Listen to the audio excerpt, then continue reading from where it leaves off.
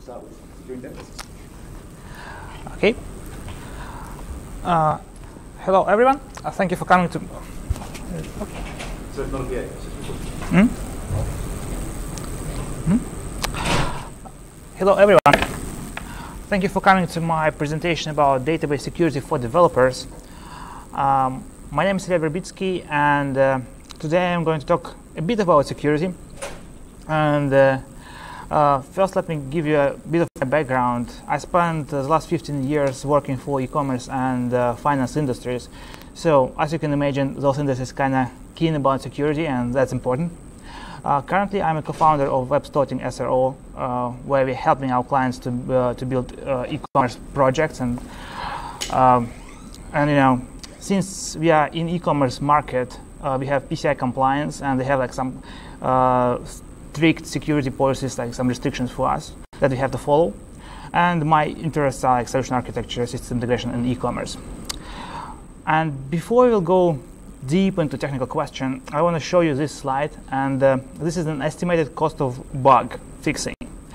So uh, imagine you're uh, starting a new project, and um, if you're like in requirements gathering, uh, or doing some design architecture, even like when you're coding something, if you have a bug, then uh, the fix is cheap. We just pay a developer to spend another hour and like go and fix it. When it's in the QA stage and you're testing it, then it's getting a bit more complicated because you run some integration tests. You will probably pay for next like four hours to fix it. Then you go to production. Okay, production issues cost money. Uh, for example, if you are in a commerce field and you have a serious bug, then probably can, your site can go shut down for a couple of hours. You can lose some money because of that, but okay, like lost opportunities, for example. And the last one, we are hacked. So, and um, those issues are the most critical and really depending on of your business. Uh, for example, if you are uh, online, like if you're Facebook, for example, and you are hacked and like all data will leaked somewhere, then you're in a big trouble.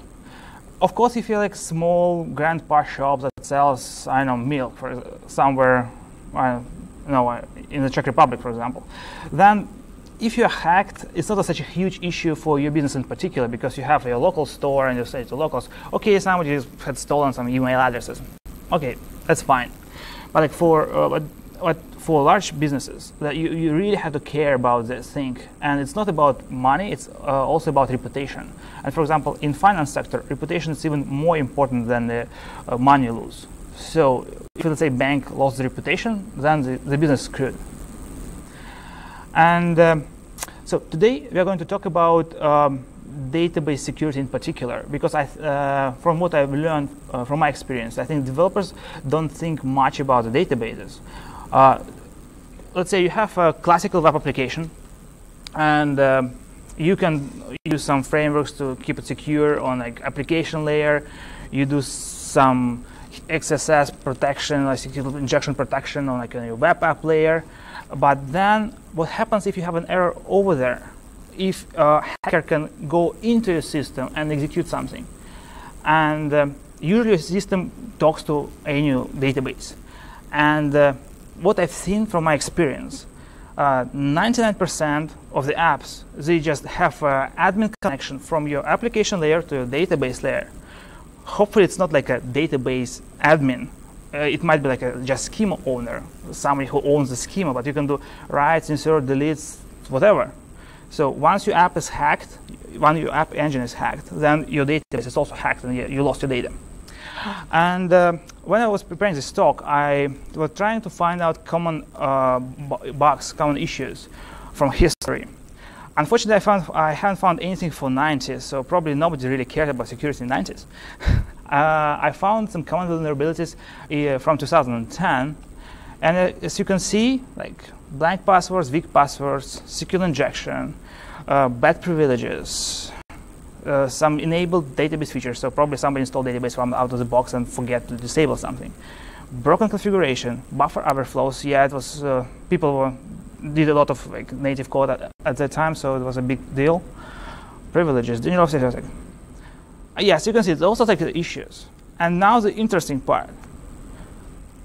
we are here in 2018, and this is the list broad user privileges, SQL injections, no audit, insecure backups, all the same things what we had in 2010 and probably in 1990 something, they're still here, there, and nobody really cares. Let's go and take a look to each of those common vulnerabilities and uh, try to find out the way how to protect against them. And uh, I'm going to uh, talk about PostgreSQL here. But really, any database like SQL Server, Oracle, they will all have the same things, probably called differently, probably like different SQL things, but uh, they have the same concept. Okay, broad user privileges. Uh, from my experiences, this is the most common problem nowadays. Uh, because uh, when somebody is developing an app nowadays, they just take the ORM and uh, they let the ORM to generate a database for them. And uh, usually the app has all possible privileges on a particular database. That is fine if you're in a development environment. But once you're running on a production, that's not good. Uh, and in my company, uh, we uh, we found out as, a principle how to solve those issues. Like first of all, um, if you have some monitoring users, like who's doing some logging, whatever, ju just give them permission, only permissions to read. Uh, and um, uh, when we're build, building a new app, we create new database, and then uh, we start creating SQL. Uh, and like I think like developers should know how to write SQL. So what we do, we, we create our user and give him just read-only permissions on a particular database. And um, uh, once you're starting developing, you see, okay, I need to write to this particular table, to this particular column. Then just go and update your, uh, your script. So, uh, and um, moreover, when you're, uh, when you're creating your uh, metadata objects, let's say tables, uh, what we are doing, we are adding the exact security policy for every single script we are writing. So it means next time we want to re reinstall the same database, we just have our script package, run it, and we have our security policy in place. Uh, what will uh, it's like it takes time, so your development slows down a bit. So there are things that can can help you. Uh, for example, for PostgreSQL, there is a good tool called pgTAP. That's a unit testing framework for Postgres. So you really like just write your, uh, unit testing your database. And um, if you have your scripts and you're running those unit tests against the database where you have your security policy, then your unit test will fail if somebody cannot read. And then you just go to your log and see, okay, what happened? Why this particular user cannot write here? And if he should write there, or is something like broken in our uh, unit test. Uh, also, if you um, you can go further. Uh, you can build, uh, if you're using your ORM, usually they follow the same structure. And um, nowadays you, you have a uh, AST parser available for almost any programming languages, language open source. For example, for C Sharp that I'm using, uh, there is Roslyn. Uh, it's actually compiler and the parser for C Sharp language. There's one for TypeScript, like uh, Acorn or Esprima. Those are for JavaScript. So if you're using ORM, then you can write your own static analyzer. It will not be like a, this like a security-driven static analyzer like from commercial product, but it will work for your particular database. For example, what we are doing, uh, we have some uh, scripts that use Roslyn, and they just look to our entity framework code and uh, fi uh, find the places where we write to the database and just say, as, as the output, they say, okay, in this particular file, you are writing to the database. Please check this code. Uh, another thing, if we go uh, to the more like generic level, uh, most of our database uh, of modern database engines support row level security. Uh, it, for example, Postgres supports it and the SQL Server supports it. What it means is you write your special function, like your security policy, saying, okay, for this particular, when somebody is writing the table or querying from the table, you can you can write the code that checks okay if this user can access this particular row and uh, you can configure like some where statement uh, that might be very like very useful, especially like if you like an e-commerce field, like a PCI compliant thing, and let's say not everyone can read uh, credit card information and some uh, billing stuff and things. Uh, in case of Postgres, um, there's also a tool called sepgsql, and it brings uh, brings you mandatory level security, and it's part of SELinux. Uh, yesterday we had a really great talk about CE Linux, how to configure it. And if you're running on Linux server, just take a look at this product. Uh, the next common issue that is still applicable in 2018 uh, is SQL injection. Uh, the funny thing is, uh, usually developers thinking about SQL injection is just now code, so we write some SQL with string concatenations and boom, so something is broken. But it's not just about SQL that runs on the database. So you can have those classical exceptions, but you also can have SQL ex exceptions, I, and I saw it in my career, in stored procedures because you can run uh, dynamic SQL within the database in stored procedure. And usually people don't think about, hey, can I break it somehow? Usually just I run dynamic SQL and think like it will work out of the box. No, you can have SQL uh, injections this way. Another one is like SQL injection in connection strings. Um, that's not about SQL, uh, but for example, the samples I've seen is you have a uh, connection string that is uh, taking like database username and password, and in case you have a shared database account that works for different database. For example, you have staging server, you have production server, and um, let's say you have your database on the same environment and you have some issues on your staging server.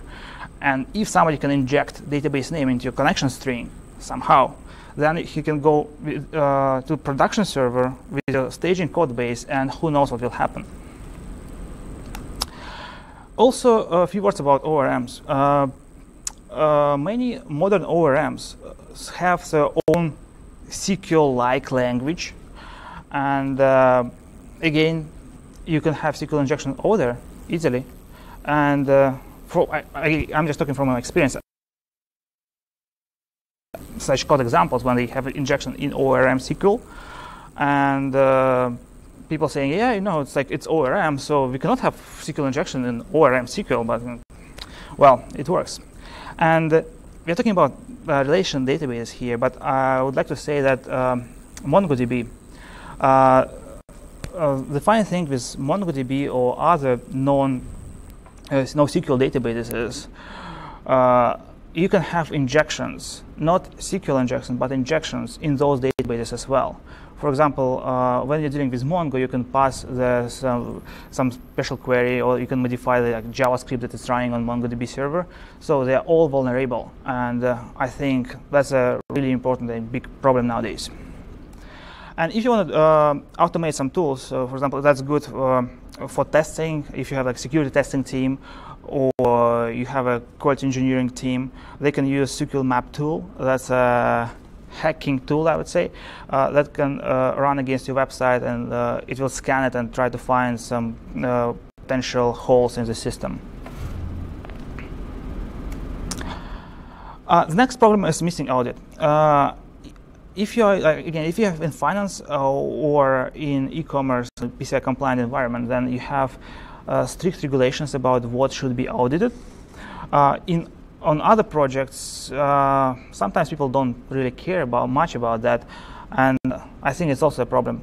Yes, on development environment, you don't need to go and configure the audit because it might be complicated, complex. But when you are production, just take your DBA, say, "Hey, man, please run audit for us." And uh, especially for Postgres, it's really simple. First of all, uh, there is some uh, error reporting and logging with, built within the Postgres that is enabled by default. Uh, okay, if you're running on Windows, you can also send your Postgres errors to Windows logs and then do some Windows auditing tool for that. Uh, there's an amazing uh, extension called PG Audit, and this extension is just awesome. It logs everything for you. And if you're using it, uh, I would suggest to take a look at PG Audit Analyzer script. Uh, what it's doing, it just takes your, uh, parses your log file from PG Audit and load it into database schema, and you can do like normal SQL and query and analyze it, and works pretty well. insecure backup storage. Uh, that's also a big story. Uh, it doesn't seem that like uh, too many people encrypt their backups if it's not in like a highly regulated environment. And uh, moreover, they don't even test the backup procedures and restore procedures. So first thing what to do is you, you have a backup, just test it, like uh, test your backups, try to recover your database server like once a month and see that it's really working and just keeping your data. Uh, and uh, again, when you have backup, uh, try um, document it. So just don't think that okay, I have this magic script that runs somewhere in in Bash, and uh, when your DBA left the company, then it's like oh my gosh, what should they do? Like uh, who is doing backups? Just make sure that your DBAs or like developers or DevOps uh, just have a document. Okay, we are doing backup this this way, and we can restore this this and that. That's like very important. And uh, make sure that your backups are encrypted.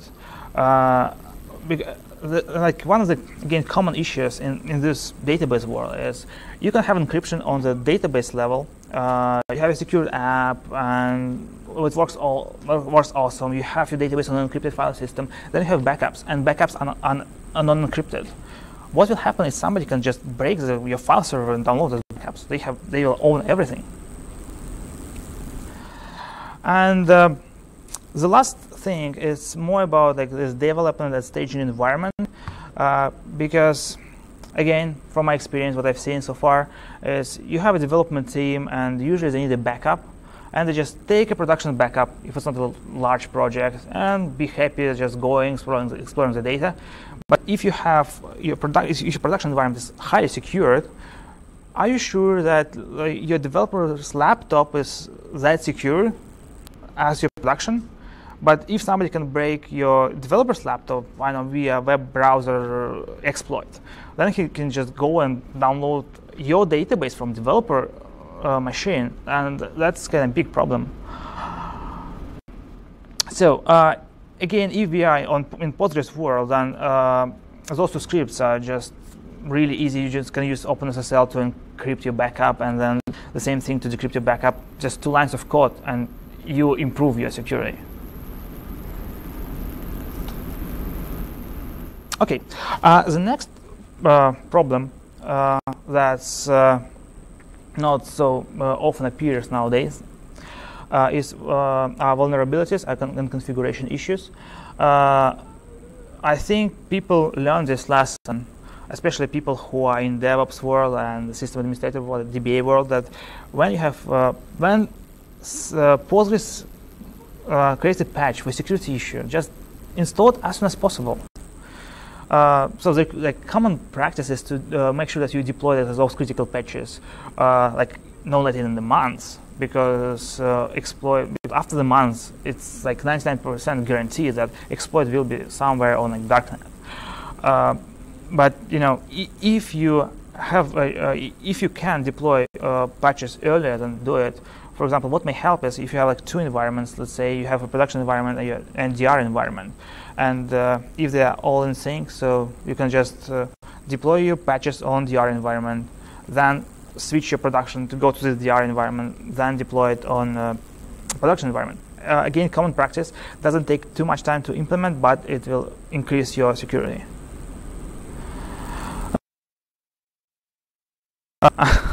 That's funny but um, I think it happened probably like a year ago or maybe two years ago when there was a major data leak uh, from AWS servers.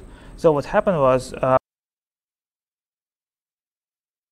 on AWS without configuring any firewall, any protection, and uh, even no password because they thought that on, uh, they can connect to MongoDB only from localhost.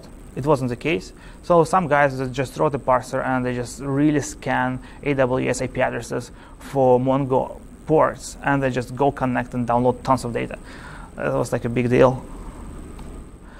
Uh, in, in, case of Postgres, uh, there is a pghba config file, and um, this is a, a, file in Postgres where you can set up your um, information about your connections, uh, what protocols you support, what authentication protocols you support, and um, so just make sure that uh, you just explicitly list uh, your trusted connections, who can connect to your Postgres, not just allow everyone.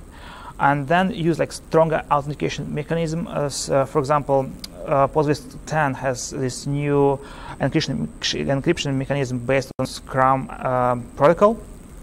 Uh, so in this case, you're not sending a password over the network; it, you're sending just hash. Or if you are in enterprise world, you can use like RADIUS server or some LDAP uh, to do authentication instead, of Postgres. That is good, from my opinion. Uh, so again, limit your connections only for known IP addresses. So allow, allow just like know, allow just localhost or uh, something like from your internal network, and uh, make sure that you're using SSL connection. It's not that uh, complicated to implement. You just build a SSL certificate, uh, add them to HB Postgres, and works.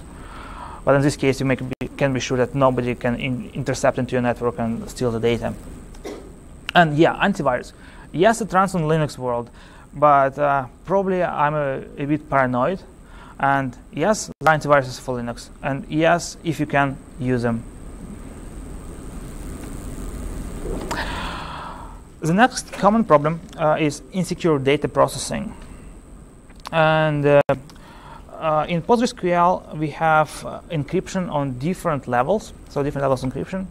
Uh, the first level is your password uh, password level authentication. So you can use rather uh, SCRAM or MD5 algorithms to, uh, to, do encryption for you. Of course, MD5 is quite weak nowadays, so that's why they brought SCRAM to to Postgres 10 because it's based on SHA 256, I guess. So that's quite hard to break.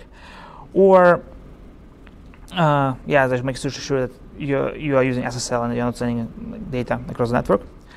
Uh, then we can go down to the database level. Uh, there's a PG Crypto uh, extension for Postgres uh, that that has a lot of like functions like hashing, uh, like asynchronous, synchronous encryption, whatever it, it just works pretty well and fast. Uh, on the bottom level, you have um, data partitioning encryption. So um, if you're running on Linux, you can uh, bring your put your database to EncFS or eCryptfs. If you're running on Windows, you, you can use EFS. So it means your your hard drive, physical hard drive, is secure. Then uh, we have network encryption that is set up on PG uh, HBA and uh, you can also implement a certificate authentication. So it means that only uh, hosts that have a certificate can connect. And um, you can also use client-side encryption. If you don't trust your DBA, just uh, encrypt everything on your client side and then send encrypted byte array in this case, you have no indexing, no searches, and yeah, you cannot run calculations. So you're really missing like all the benefits that Postgres or any other database brings to you. So think twice about that. But in the case of credit card information, for example, it might be helpful. Weak passwords, yeah, that's like a common thing. And uh, so in Postgres, you, uh, when you create a, new user account, you can set up a timestamp, uh, like when user has to change the password. Or you can use a password check module. Uh, what the module is doing, like when you're creating a new role, it checks your password again, common things like it has to be like an alphanumeric and some digits. Uh, you can also add CrackLib support to this uh, thing, so it will also check about uh, against common password databases. You can use Kerberos authentication, like some LDAP servers. That's even better because then you have like one common place for truth for all your password policies and you can stop the delay so to protect against brute force attack. And you can use like metasploit mdcrack tools to to check your password like try to break your Postgres for example. Danger of service attack the last one. Not quite common in database world because usually all your databases are behind the perimeter but anyway so make sure you have the latest patches have a firewall and have an anti-DDoS solution if you need it. And that's summary. So install updates. Uh, it's like a common summary, uh, some steps that are easy to implement. And thank you.